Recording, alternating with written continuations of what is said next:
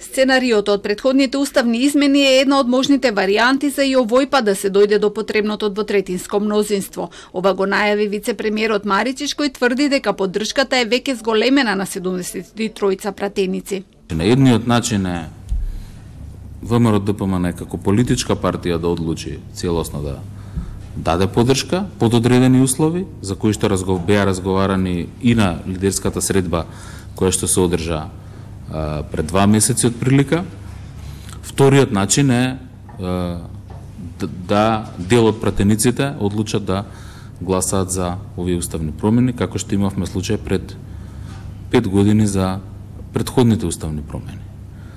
А, јас не гледам трет начин. Може би постои, меѓутоа тие се двете двете опции. Ние ќе работиме на на двете нивоа. Дали власта е близко до мнозинство ќе се види доколку биде закажана собраниската седница. Маричич рече и дека се подготвени да побараат од ДЕУ да се изјаснат за барањата на ВМРО да поманае за уставни измени ако тоа ги отстрани нивните грижи. И министерот за внатрешни работи денеска потврди дека се разговара со секој пратеник поединечно. Се разговара со секој пратеник заради тоа што Сега одговорноста е на пратениците, оние кои што ги представуваат граѓаните и мислам дека никој нема право перспективата на македонските граѓани да ја држи во заложништво.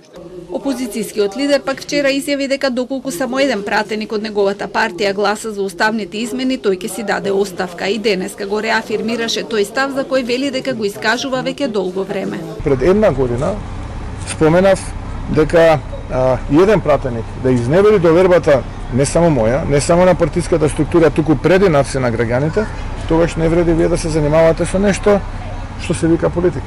Кога а, кога како политичари ние треба да се грижиме за мнозинската волја на, на граѓаните, а не а, позади завеси, за ситни интереси, лични, предси и партиски, да да изневеруваме да изневеруваме волјата на граѓаните.